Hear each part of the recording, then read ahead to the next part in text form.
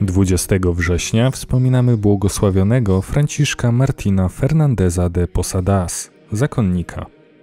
Franciszek urodził się w 1644 roku w Kordobie w Hiszpanii.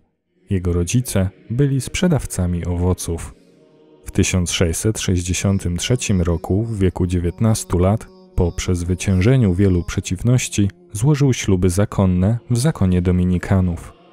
Obrał sobie za wzór świętego Wincentego Ferreriusza i stał się gorliwym kaznodzieją, którego sława obiegła całą Hiszpanię.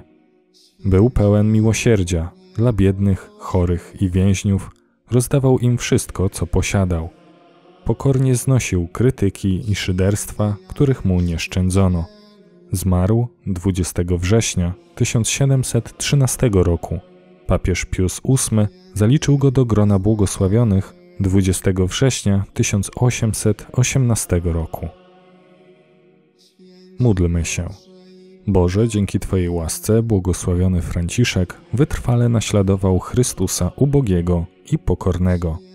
Spraw za jego wstawiennictwem, abyśmy wiernie trwając w naszym powołaniu osiągnęli doskonałość, której wzór nam dałeś w swoim Synu Jezusie Chrystusie, który z Tobą żyje i króluje w jedności Ducha Świętego, Bóg przez wszystkie wieki wieków. Amen.